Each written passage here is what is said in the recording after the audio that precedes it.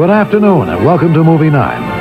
Today, Tyrone Power is a riverboat gambler who decides to build an honest gambling house in New Orleans. Julie Adams co stars in The Mississippi Gambler.